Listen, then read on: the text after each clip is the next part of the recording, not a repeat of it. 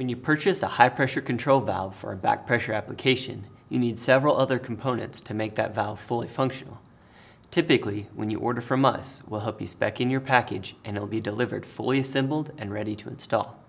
However, if you purchase these parts individually, you'll want to know what they do and how to assemble the package.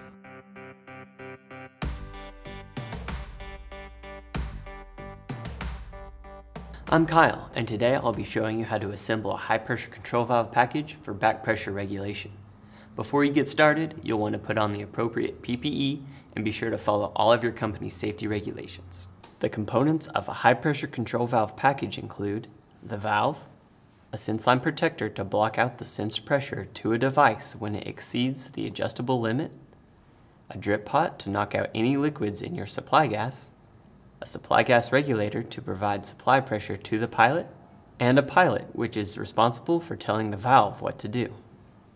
Depending on how you choose to arrange the components, the number of elbow and straight connectors will vary, but you'll need at least 8 quarter inch by 3 8 tubing connectors, 2 quarter inch nipples, 1 high pressure quarter inch T connector, approximately 5 feet of 3 8 tubing, and Loctite. Finally, to put the package together, you'll need the following tools. A vise, tubing benders, tubing cutters, a half inch wrench, a 5 8 inch wrench, an 11 16 inch wrench, a 9 16 inch wrench, channel locks, and a crescent wrench. Someone who assembles these packages regularly will already have a standard for how to arrange their assembly, whether all of the parts are on one side or if it's more symmetrical. Knowing in advance makes it easier to attach the tubing connectors and the nipples to the parts before adding them to each valve. The way I'll be building this package will have the components closer together, facing the front of the valve and on the upstream side. We'll be using less tubing this way and avoid creating areas where someone may use it to lift. The first step is to thread the needle valve into the bottom of the drip pot.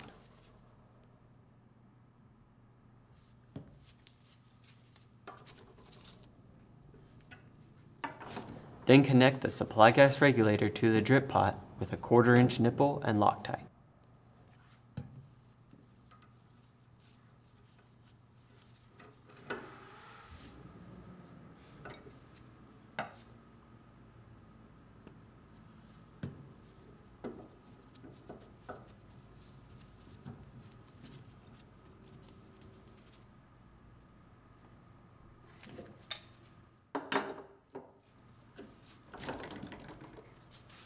Now, mount the valve body in a vise.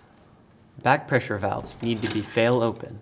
All of our Kimray valves come standard as fail closed, so if you're building a back pressure package yourself, you'll need to flip the top works before you begin. See our video if you need help with that process. Remove a bolt from the bonnet on the upstream side and attach the drip pot and supply gas regulator to the valve.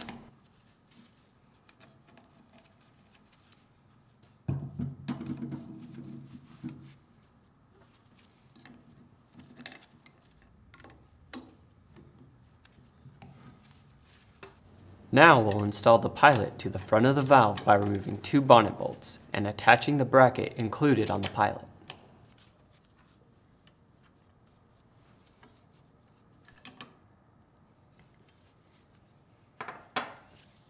Next, install a nipple into the outlet of the sense line protector with Loctite.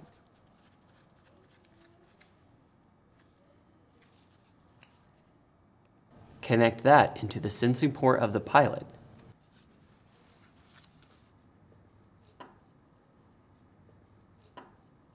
attach a quarter inch T into the sense line protector inlet.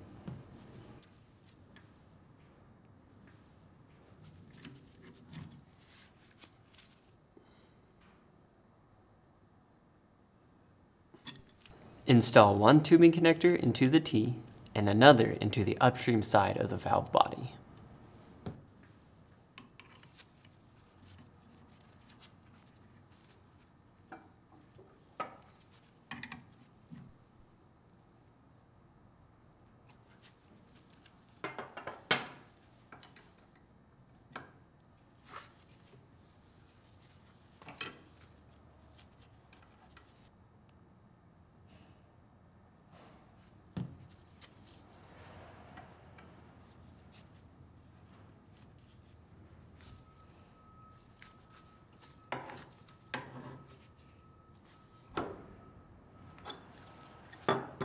Bend, cut, and install the tubing from the upstream side of the valve to the T.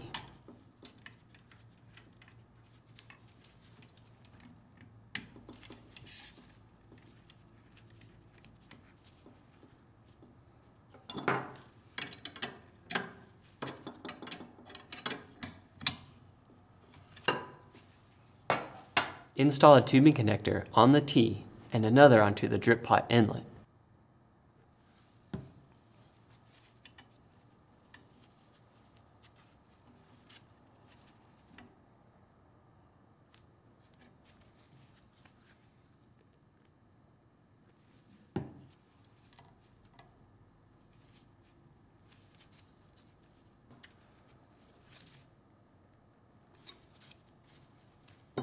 Connect these together with tubing.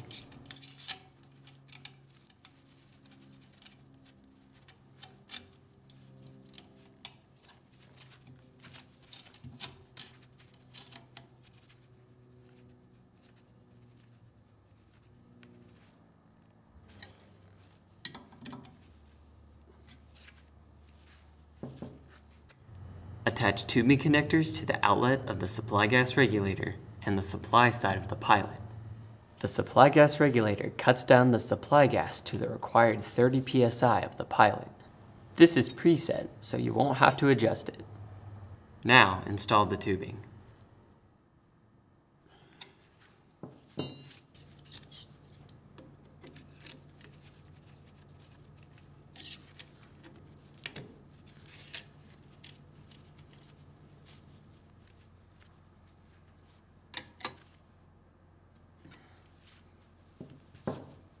Attach tubing connectors to both the output of the pilot and the top of the valve bonnet.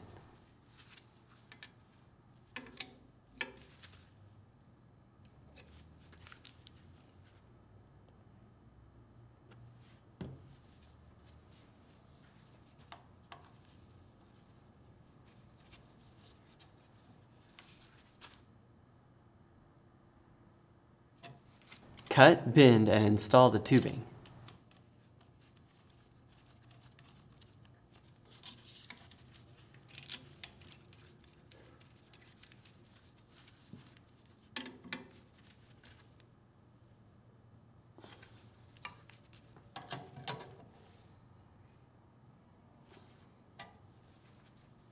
Finish by installing a pressure gauge on the supply gas regulator.